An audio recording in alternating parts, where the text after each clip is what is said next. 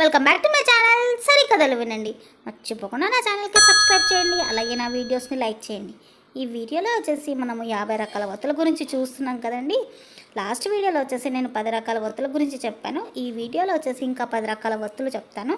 అవి ఎప్పుడు వెలిగించుకోవాలి? వాటి విశిష్టత ఏంటి అనేది పూర్తిగా ఈ వీడియోలో చూద్దాం.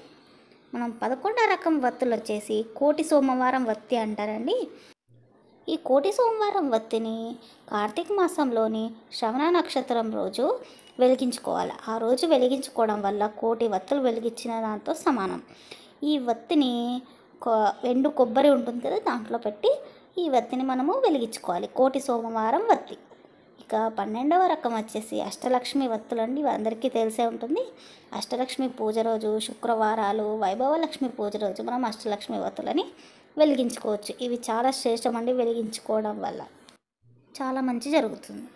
తర్వాత వత్తులు వచ్చేసి తుమ్మి పువ్వు వత్తులు అండి ఇవి మనం వినాయకుడు పండగప్పుడు వెలిగించుకునే తుమ్మి పువ్వు వత్తులు అలాగే కార్తీక మాసంలో శ్రావణ మాసంలో ఎప్పుడైనా సరే మనం ఈ తుమ్మి పువ్వు వత్తులను వెలిగించుకోవచ్చు.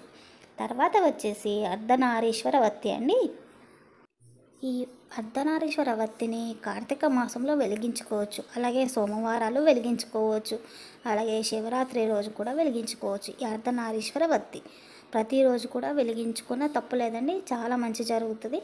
అర్ధనారీశ్వర వత్తులు అష్టాదళ పద్మం వత్తి అండి.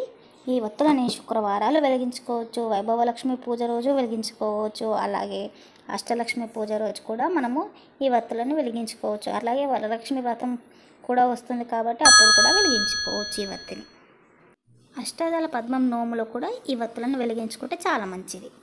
తర్వాత వచ్చేసి రుద్రాక్ష వత్తి అండి. ఈ వత్తిని సోమవారాలు వెలిగించుకోవచ్చు శివరాత్రి నాడు వెలిగించుకోవచ్చు కార్తీక మాసంలో వెలిగించుకుని మంచి జరుగుతుంది. ఈ బ్రహ్మముడి వత్తిని నోములాగా పట్టుకొని ప్రతిరోజు వెలిగించుకునే వత్తులండి. ఇవి బ్రహ్మముడి వత్తులు. ప్రతిరోజు సంవత్సరం పాటు వెలిగించుకుంటారు బ్రహ్మముడి వత్తులు అనేసి సౌభాగ్యం కోసం వెలిగించుకునే వత్తులు. తర్వాత వత్తులు వచ్చేసి ఆవుతోక వత్తులు అండి ఇవి అందరికీ తెలిసే ఉంటుంది. నోము పట్టుకున్నప్పుడు కూడా ప్రతిరోజు ఆవుతోక వత్తులను వెలిగించుకుంటాం. తర్వాత వచ్చేసి నక్షత్రం వత్తి. ఇది పొలిపాడెం వత్తి అని కూడా అంటారండి.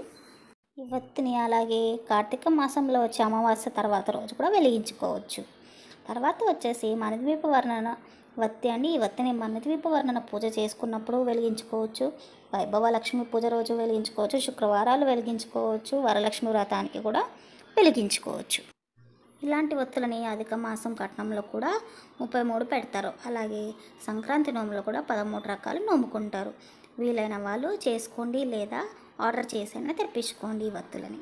నాగలక్ష్మి గారి నెంబర్ మీకు ఇక్కడ స్క్రీన్ పైన ఇస్తున్నానండి. తనకు కాల్ చేసి వివరాలు కనుక్కోండి. అలాగే మర్చిపోకుండా నా ఛానల్కి సబ్స్క్రైబ్ చేయండి. సరే కథలు వినండి.